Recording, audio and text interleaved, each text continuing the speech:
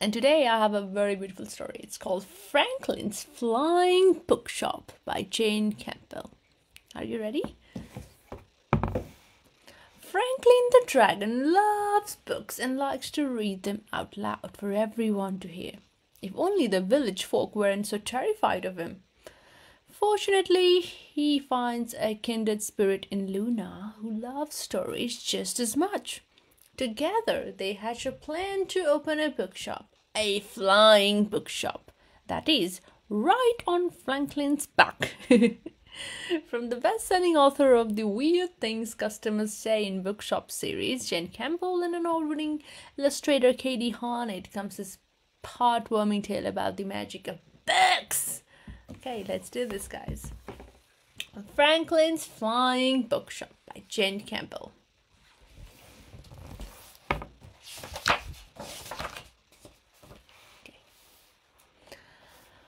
Franklin loves stories. Stories keep him warm at night. His front door is a bookcase that keeps out the wind. There are lots of books inside the cave that Franklin lives in. He likes to read them out loud for everyone to hear. Guys, meet Franklin. He loves to read. Every day, Franklin reads about King Arthur and roller skating, about electricity and baking. He reads about spiders and ballet. When the sun goes down, Franklin reads by the light of a thousand fireflies, because fireflies like to hear stories too.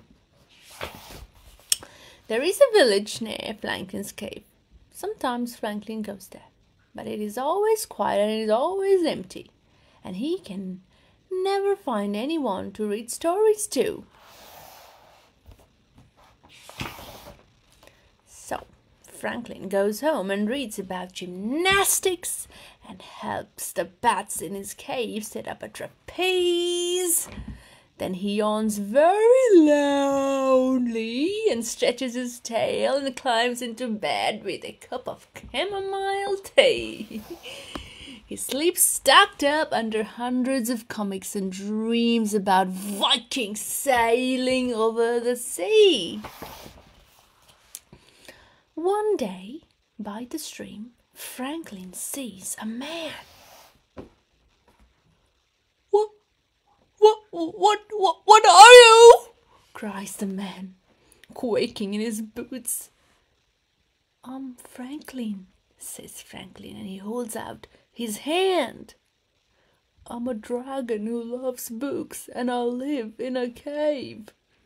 But the man drops his fishing rod and runs far away. So Franklin goes home and reads about music and helps the mice in his cave start up a band. Next day, by the farm, Franklin sees a lady. What are you? cries the lady, shivering on the spot. I'm, Franklin, says Franklin, as he holds out his hand. I'm a dragon and I'm a band manager and I like ballet. But the lady screams loudly and runs far away. Next day, in the woods, Franklin sees a young girl. She has bright red hair, the same color as the leaves, and she reads, she's reading a book sitting under a tree. Who are you? asks the girl, jumping up to her feet. I'm, I'm Franklin, says Franklin, and he holds out his hand. I'm a dragon who likes stargazing and playing crochet. I love dragons, cried the girl, and she shakes Franklin's hand.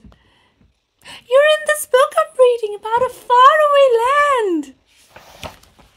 Luna tells Franklin she's read about remote secret islands, about treasure hunts and pirates, about fruit bats and acrobats, and how to be a spy.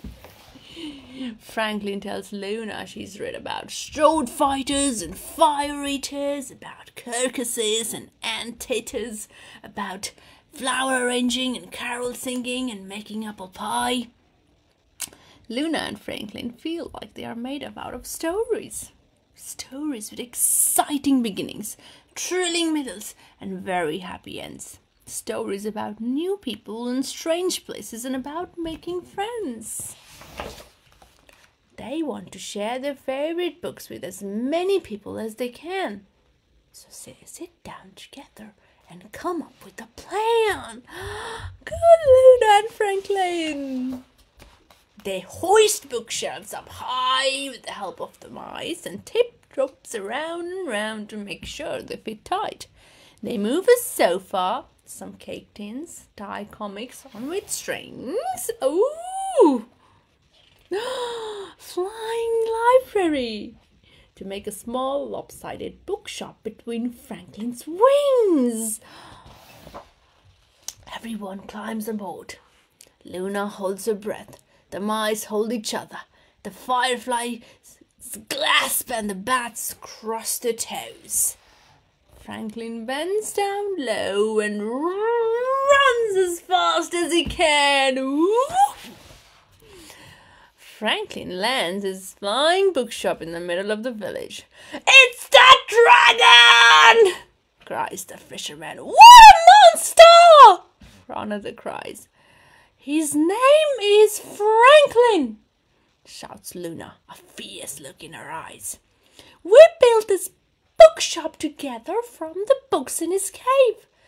Franklin's kind and he's clever and he's my friend. There is a small silence. Franklin shuffles his feet in the quiet street. It's nice to meet you, he says as he waves at the crowd who have stopped in their tracks and are listening now. We have lots of stories that we'd love to share. Please come and say hello and pull up a chair. the fireflies light up the shelves, the bats cartwheel along the bookcases, and the mice clear their throats and start singing songs. It isn't long before the villagers start taking a look climbing up onto Franklin to peer at the bugs. hey, look at those mice. He whispers tales about dragons and how to make crème brûlée, and everyone is listening to what he has to say. Let's fly, Luna smiles as she as the sorry as the fireflies dance and the acrobats show off their kung fu. So they hold on tight as Franklin takes flight, reading books by the light of the moon. Ooh, flying bookshop. Oh, for Ollie and Phoebe, Jane Campbell, from our family, Katie Harnett. What a lovely story. What a beautiful story about stories. That's right. ah, this lovely story. Thank you so much for tuning in. has so many things about they have amazing stories. That's right. And guess what? Flying bookshop. How amazing is that? I wish I could read this. I wish I could do my story time that flying bookshop. How amazing it would be!